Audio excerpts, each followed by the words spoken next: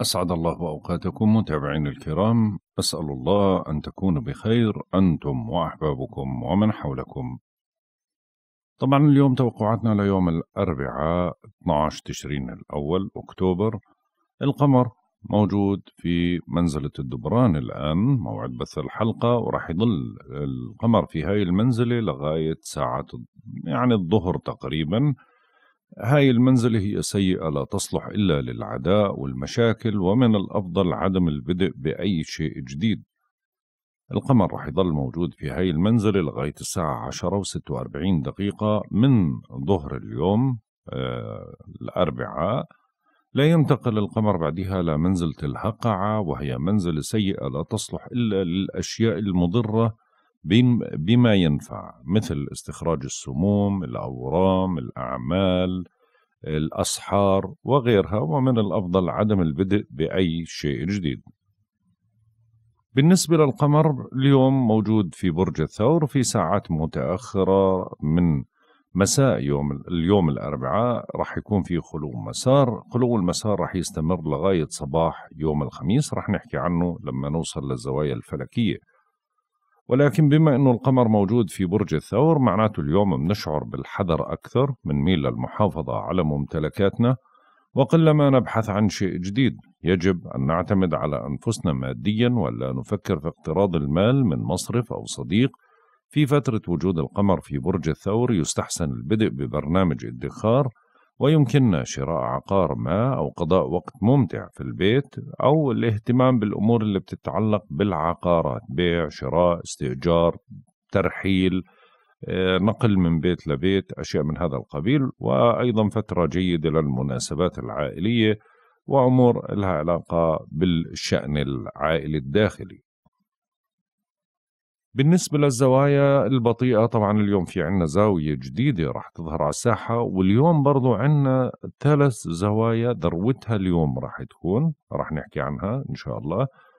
طبعا أول زاوية راح نحكي عنها اللي هي بدأ تأثيراتها اليوم اللي هي زاوية التثليث الإيجابية اللي بين الزهرة وبين زحل وهي طبعا من اليوم اللي هو 12 10 ولغاية 16 10 تأثيراتها ذروتها يوم 14 10 في تمام الساعة 26 دقيقة صباحا بتوقيت غرينتش. هذا بيعني أنه الفترة القادمة مناسبة لاستقرار العلاقات العاطفية وأيضا بيضمن لك إخلاص محبوبك وجيدة للمصالحات العاطفية.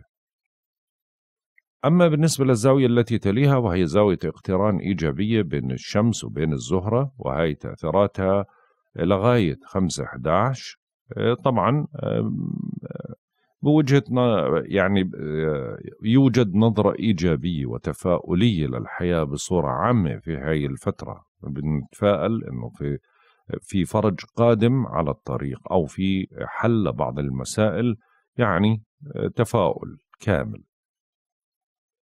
أما بالنسبة للزاوية التي تليها وهي زاوية تربيع سلبية منفصلة ما بين زحل وما بين أورانوس وهي طبعا مستمرة لغاية 16 11 هاي زاوية بتخلينا مندفعين في تصرفاتنا ومتمردين على كل القيم والعادات وبتدل على تغيرات أو أزمات مفاجئة في حكومة ما واحتمال وقوع حوادث طبيعية مدمرة كالعواصف والزلازل وسقوط الطائرات وحوادث لها علاقة بالسك الحديد وبتدل كذلك على إضرابات واشتباكات مع سلطات بسبب تضييق الخناق على الحريات العامة. أما بالنسبة للزوايا اللي اليوم راح تتشكل أو ذروتها اليوم أول زاوية هي زاوية التثليث الإيجابية بين الشمس وبين زحل وهي حكينا أنه بدأ تأثيراتها من يوم 8 عشرة ومستمرة لغاية 16 عشرة.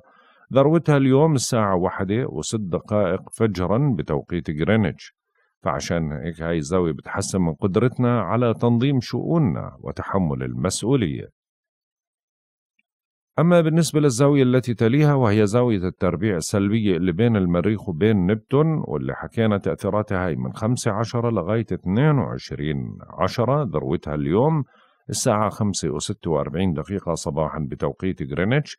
بينتابنا شعور بالتشتت وعدم التركيز وبتزداد حالات التسمم الغذائي. وبرضه ممكن نتعامل مع بعض الأشخاص ونكتشف لاحقا إنهم بيكذبوا علينا أو بيخدعونا.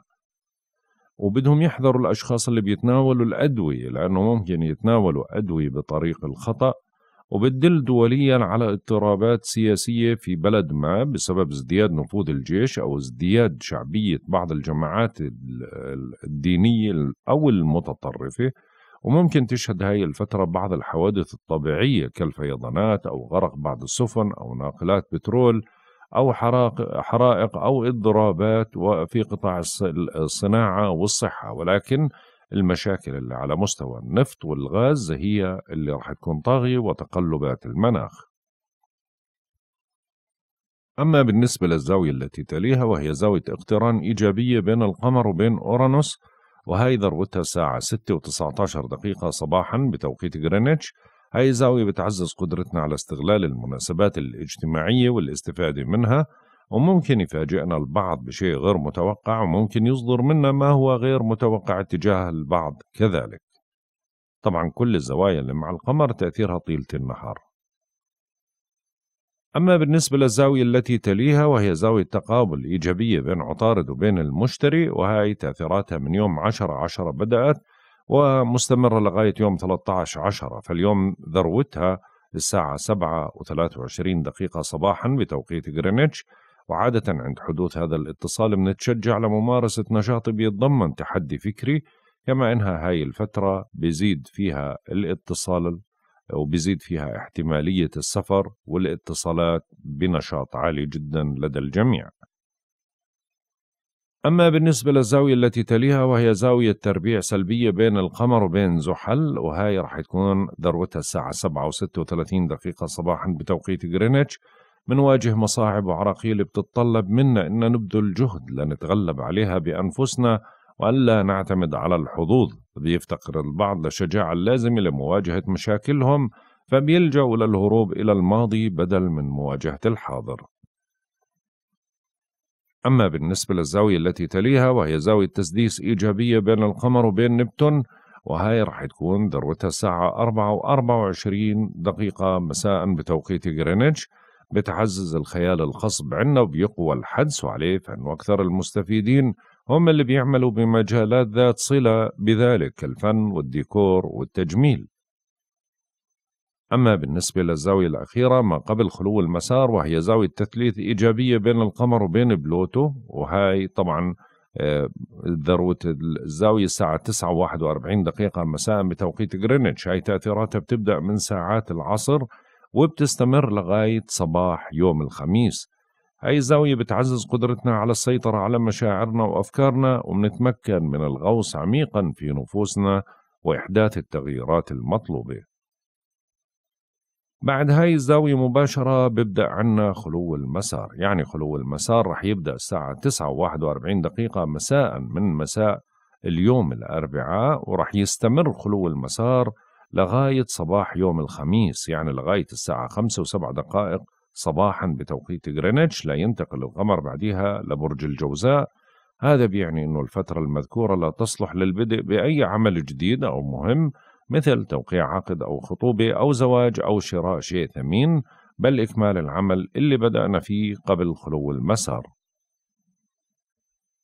بالنسبة للأعضاء اللي في جسمنا الأكثر حساسية اليوم واللي لازم نوفر لها العناية الإضافية ونبعد عن العمليات الجراحية لإلها العنق الحنجرة الحبال الصوتية الغدة الدرقية اللوزتين وتفاحة آدم. بالنسبة للعمليات الجراحية طبعا اليوم يوصى بإجراء العمليات الجراحية ما في أي مشاكل. آه، مناسب أيضا لعمليات التجميل مثل الحقن والجراحة ما في برضو أي مشاكل. ويصلح أيضا لإزالة الشعر الزائد يصلح لقص الشعر التجميلي والصبغ ولكن لا يصلح للقص العلاجي. بالنسبة لعمر القمر عمر القمر انحسار المحدب عمره 17 يوم في تمام الساعة 4 و18 دقيقة مساء بصير عمره 18 يوم نسبة الإضاءة بتصير 85%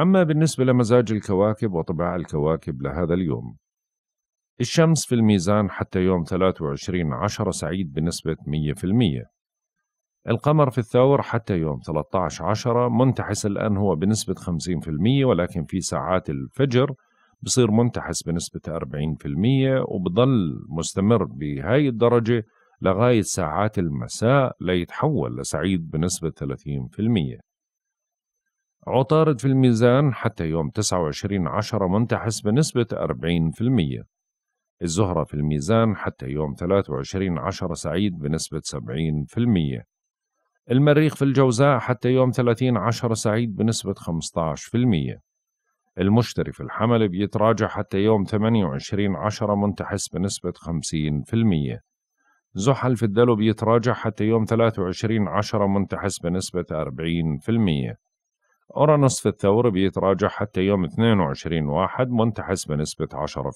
10% ونبتون في الحوت بيتراجع حتى يوم 4 12 منتحس بنسبة 15% وبلوتو في الجدي يعني لغاية يوم 23 3 آه، سعيد بنسبة 15% وصلنا للتوقعات اليومية. برج الحمل.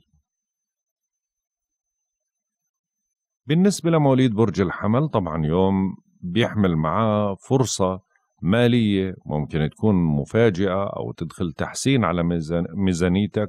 برضو فرصة ممتازة للعمل الإضافي والحصول على بعض المكاسب يعني فترة غنية يجب توظيفها اجتماعيا مهنيا عاطفيا. بكل الجهات هي قوية جدا. فعشان هيك ما تضيع الفرصة حاول إنك توظف طاقتك الذهنية البناءة لوضع حد للتساؤلات والالتباسات. وحاول إنك تناقش بوضوح بدون أي عصبية. برج الثور. بالنسبة لمواليد برج الثور ثقتكم بأنفسكم كبيرة وبعمكم النشاط اليوم. طاقتكم عالية جدا وبإمكانكم تبادروا لخطوة جديدة. الدعم من مركزكم الاجتماعي. الحظوظ قوية والنتائج حاسمة. ما بيستطيع أحد منافستك. حاول أنك تطوي صفحة الماضي. بترتفع عندك المعنويات اليوم بشكل واضح تماما وطاقة عالية جدا فترة نشطة وواعدة بتطور جيد وحظوظ عالية وتعتبر من أفضل أيام الشهر إذا استغلتها بشكل إيجابي. برج الجوزاء بالنسبة لمواليد برج الجوزاء طبعا يوم بيتطلب منكم عدم المبالغة في جهدكم الجسماني وإنجاز ما بوسعكم من عمل متراكم دون إهمال صحتكم لأنه الخمر موجود في بيت المتاعب لا صباح يوم الخميس فبدكم تتحملوا وتضبطوا أعصابكم لأنه خلال هذا اليوم بسود الهدوء والملل وبتراوح أعمالك مكانها بتخيب آمالك لسبب أو لآخر ممكن سوء التفاهم ممكن يخيب أملك بشخص معين أو بتصرف. حاول إنه اليوم برضو ما توقع على أي عقد ما تحسم أي أمر لأنها فترة فارغة من الطاقة والحظ فما تراهن عليها. برج السرطان بالنسبة لمواليد برج السرطان طبعا اليوم تسعدوا من لقاء الأصدقاء وتعاونهم معكم. اليوم عندكم نشاط عالي جدا على المستوى الاجتماعي. حاولوا أنكم تكونوا مخلصين لصداقاتكم ووعودكم لأنه اليوم ممكن تحصد على تأييد أو دعم أو مساعدة. فعشان هيك حاول أنك تكثف ارتباطاتك باستطاعتك تقديم أفضل النتائج شرط التحلي بالهدوء والليونة والصبر ورح تفرح اليوم بانتصار مهني أو اجتماعي أو رح تنشط بمناسبة سعيدة تستفيد منها. برج الأسد. بالنسبة لمواليد برج الأسد طبعا يوم مناسب للأشخاص اللي بيبحثوا عن عمل أو اللي بيرغبوا في إدخال تعديل على طبيعة عملهم وبرضه ممتازة هاي الفترة لتحسين العلاقات مع المسؤولين أو توطيدها آه، بتحمل هاي الفترة. برضو نوع من أنواع الضغوط على عدة أصعدة لها علاقة بالمغامرة بالكلام أشخاص بيستغيبوك بتآمروا عليك.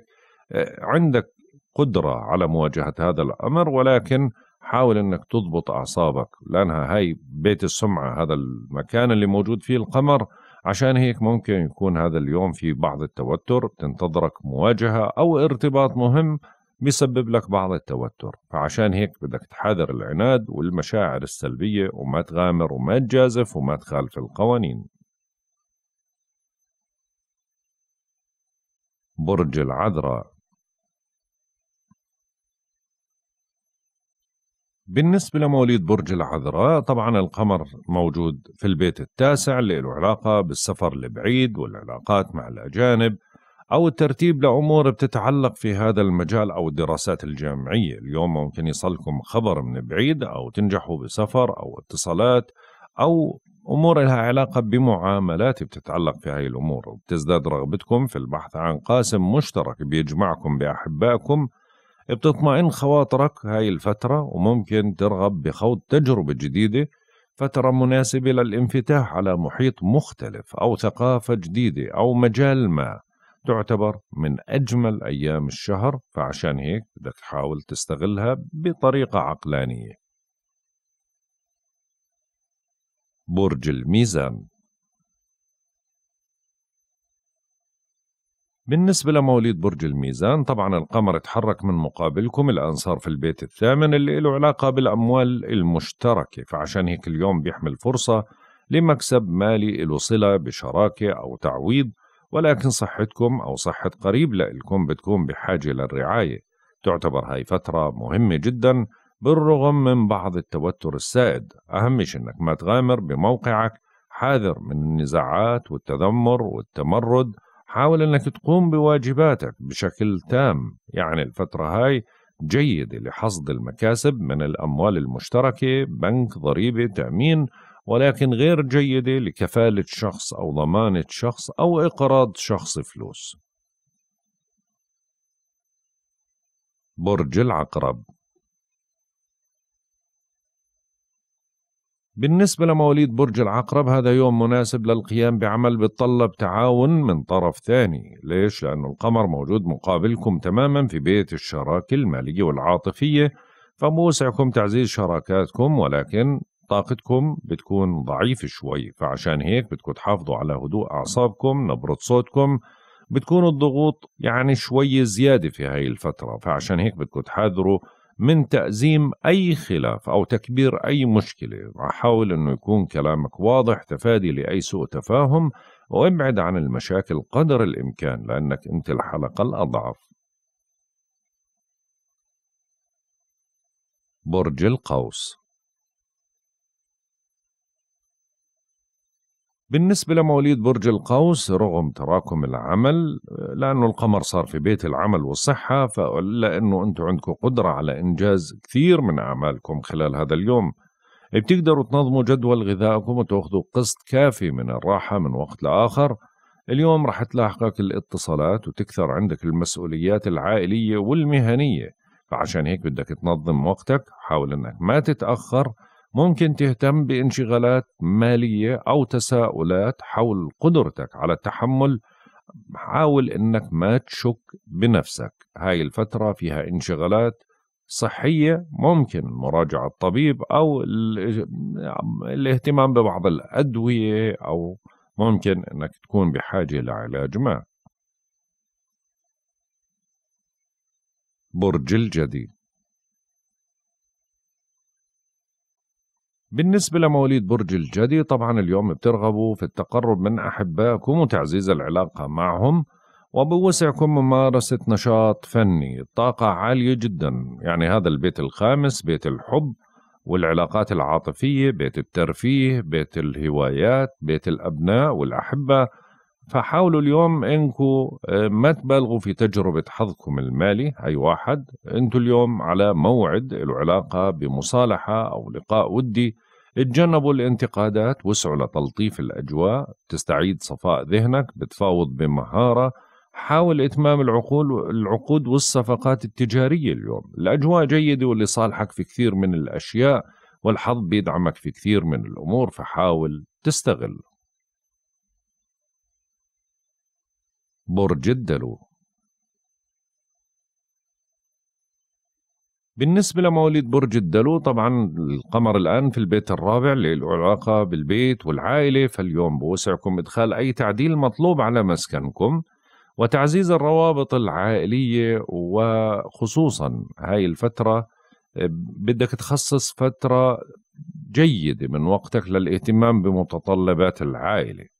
في حدث عائلي معين ممكن اليوم يلفت انتباهك أو يعني يكون شوي بحاجة منك إنك تتدخل فيه فحاول إنك تتدخل بمرونة لأنه الجو شوي في نوع من أنواع الضغوط والمسؤولية بتكون كبيرة عليك وممكن يكون في ارتباط مهم فما بيجوز الفشل وبرضه في بعض المصاريف المنزلية ممكن تظهر بعض الأعطال أو التصليحات أو الترتيبات أو المشتريات. برج الحوت. بالنسبة لمواليد برج الحوت طبعا اليوم بتنشطوا في مجال الدراسة والسفر والاتصالات النشاط عالي جدا قدرتكم على التواصل ممتازة جدا. برضو هذا يوم مناسب للخروج في نزهة قصيرة أو التعامل مع أحد الإخوة أو أحد الجيران. بتتمتعوا بقدرة ذهنية كبيرة وجراءة في التعبير والوصف. وبتقدر اليوم تناقش أي موضوع عندك قدرة على الإقناع وسرعة بديهة أنك تتجاوز أي ضغط فعشان هيك اليوم بدك تسمع صوتك بالإشي اللي بجول في خاطرك اللي مش قادر تعبر عنه إلك فترة اليوم تقدر تعبر عنه بأريحية. ولكن بدعوك لتنظيم جدول أعمالك تفاديا للإهمال أو التقصير أو أنها تتداخل الأمور كلها مع بعض. فعشان هيك حاول إنك ترتب وقتك وتركز على المكاسب اللي أنت بحاجتها عشان تستغل هذا اليوم. هيك بنكون انتهينا من توقعاتنا لهذا اليوم. والله أعلم. يا رضا الله ورضا الوالدين. سبحانك اللهم وبحمدك. أشهد أن لا إله إلا أنت. أستغفرك وأتوب إليك. أترككم في رعاية الله وحفظه. إلى اللقاء.